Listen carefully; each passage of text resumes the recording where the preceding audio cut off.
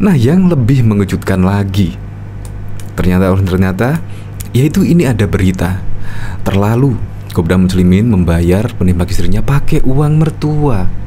Pakai uang mertua, men. Ini sungguh sangat mengejutkan sekali.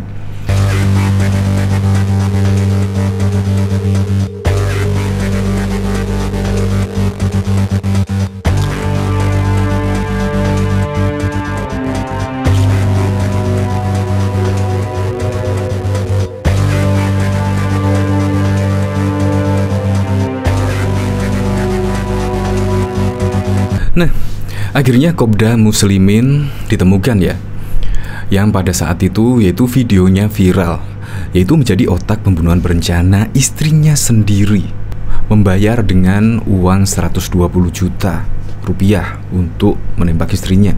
Dan pihak kepolisian telah mencari Yaitu otak pelaku pembunuhan tersebut. Tapi sekarang ada berita yaitu anggota TNI Kopda Muslimin yang diduga menjadi otak pembunuhan berencana istrinya di Semarang Jawa Tengah telah ditemukan meninggal setelah muntah-muntah di kediaman orang tuanya di Kelurahan Trompo RT 2 RW 1 Kecamatan Kota Kendal Kabupaten Kendal sekitar pukul 6.15 yaitu pada pagi tadi ditemukan meninggal dunia. Nah, saat ini lokasi sedang dilakukan olah TKP oleh tim gabungan dari Inavis dan Denpom dari Kodam 4 di Ponegoro. Nah, yang lebih mengejutkan lagi, ternyata ternyata yaitu ini ada berita terlalu Kopda Muslimin membayar penembak istrinya pakai uang mertua. Pakai uang mertua, men. Ini sungguh sangat mengejutkan sekali. Polisi saat ini telah mendapatkan keterangan dari seorang saksi terkait asal muasal uang yang digunakan Kopda Muslimin untuk membayar menembak istrinya. Data uang itu berasal dari mertuanya alias ibu dari korban. Sungguh terlalu. Memang Gusti Mboten Sare ya.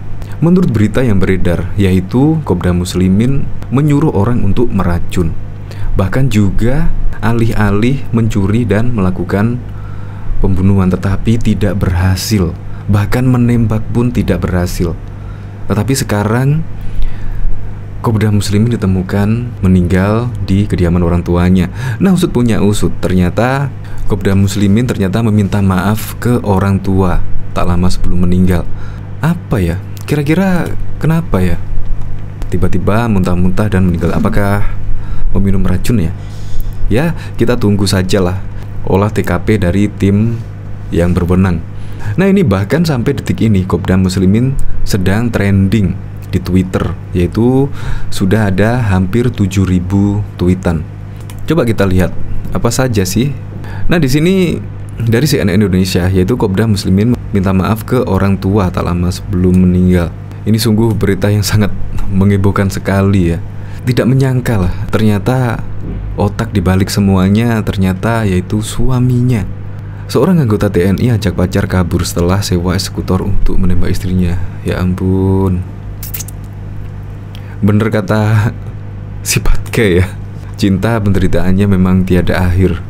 Dari sini coba kita lihat apa namanya keterangan ini. Bahwa saudara M Selang rumahnya orang tuanya namanya Mustaqim pada saat pulang beliau sempat minta maaf bahkan oleh orang tuanya dituturi dituturi untuk menyerahkan diri dan lain sebagainya. Tetapi ini pukul 5.30 otak dan didapati pukul 7 baca meninggal dunia. Kemudian kita dari Inafis, kemudian dari POM kita melakukan olah TKP untuk memastikan meninggalnya korban. Yang nanti secara yuridis formal akan kita lakukan otopsi. Nah, ternyata datang ke rumah orang tuanya untuk meminta maaf.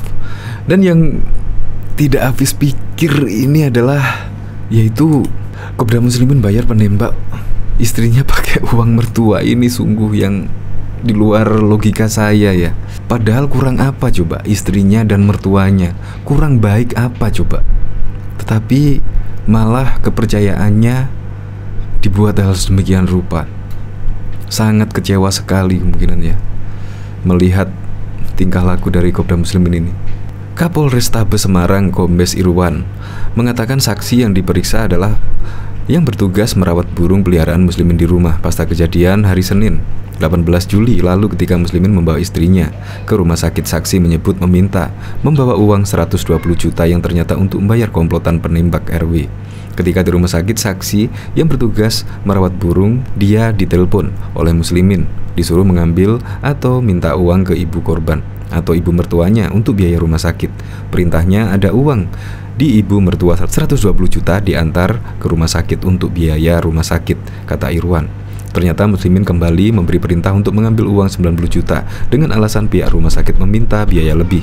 Ternyata uang itu dibawa untuk kabur. Perintah kedua, kurang uangnya. Pihak rumah sakit katanya minta 90 juta ternyata 120 untuk bayar tersangka dan 90 juta digunakan yang bersangkutan untuk melarikan diri. Hmm.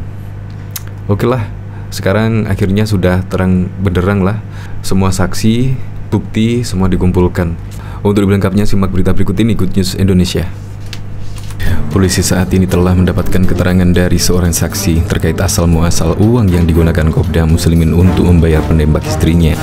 Ternyata uang itu berasal dari mertuanya alias ibu dari korban.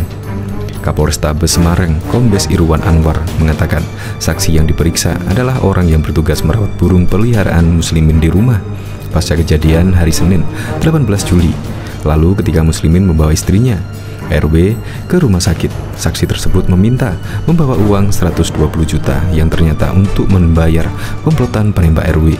Ketika di rumah sakit, saksi yang bertugas merawat burung, dia ditelepon oleh muslimin, disuruh mengambil atau minta uang ke ibu korban atau ibu mertuanya untuk biaya rumah sakit. Perintahnya ada uang di ibu mertua 120 juta diantar ke rumah sakit untuk biaya rumah sakit, kata Irwan di Mapolrestabes Semarang pada Rabu 27 Juli 2022. Ternyata muslimin kembali memberi perintah untuk mengambil uang 90 juta dengan alasan pihak rumah sakit meminta biaya lebih. Ternyata uang itu dibawa untuk kabur. Perintah kedua kurang uangnya. Pihak rumah sakit katanya minta 90 juta ternyata 120 juta untuk bayar tersangka dan 90 juta digunakan yang bersangkutan untuk melarikan diri tegasnya. Irwan juga menjelaskan, saat ini tim gabungan TNI Polri juga melakukan pencarian terhadap muslimin dan ia berharap yang bersangkutan bisa segera ditangkap. Setelah ditangkap, pendalaman terhadap muslimin akan dilakukan TNI. Tim gabungan melakukan penyelidikan. Mudah-mudahan dalam waktu tidak lama bisa mempertanggungjawabkan perbuatannya, ujarnya. Komandan Kodim dan Dim 0733 Kota Semarang Letkol Honi Havana menambahkan saat ini kasus tersebut dalam tahap fokus pengejaran Kapda Muslimin. Kerjasama dengan Pak Kapolres, tinggal Muslimin yang belum ditangkap. Kita fokuskan agar dia mempertanggungjawabkan perbuatannya, kata Honi. Terkait sumber dana dari muslimin, Honi menegaskan akan ada arah penyelidikan ke sana jika yang bersangkutan sudah ditangkap tapi saat ini belum karena masih ada fokus pengejaran terkait kasus penembakan tersebut. Nanti setelah yang bersangkutan ditangkap, nanti kita fokuskan ke sana. Sekarang belum, tegasnya. Bahkan diketahui Kapolda Jawa Tengah Irjen Ahmad Lutfi mengatakan Kopda Muslimin datang ke rumah ayahnya Mustaqim di Kendal untuk minta maaf Beliau sempat minta maaf, bahkan oleh orang tuanya dituturi, dinasihati untuk menyerahkan diri, kata Lutfi di lokasi Kendal pada Kamis 28 Juli.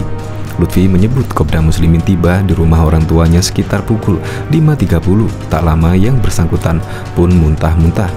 Beberapa jam kemudian kata Lutfi Kopda Muslimin meninggal dunia. Didapati pukul 7 meninggal dunia ujarnya. Jenderal Bintang 2 itu mengatakan saat ini tim Inafis dan POM TNI AD melakukan olah tempat kejadian perkara. Pihaknya ingin memastikan meninggalnya Kopda Muslimin. Secara yuridis, formal akan kita lakukan otopsi atas persetujuan keluarga sebab kematian itu sendiri katanya